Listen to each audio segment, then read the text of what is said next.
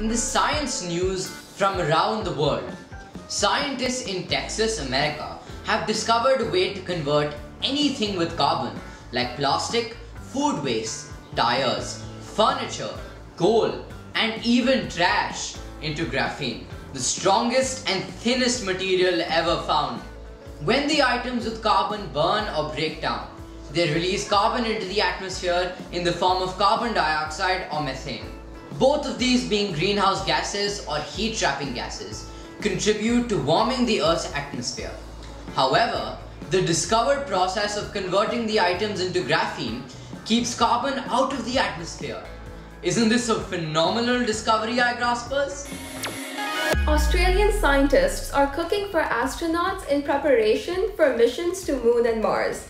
The goal is to find a better way to prepare, store, and serve meals on a long space mission.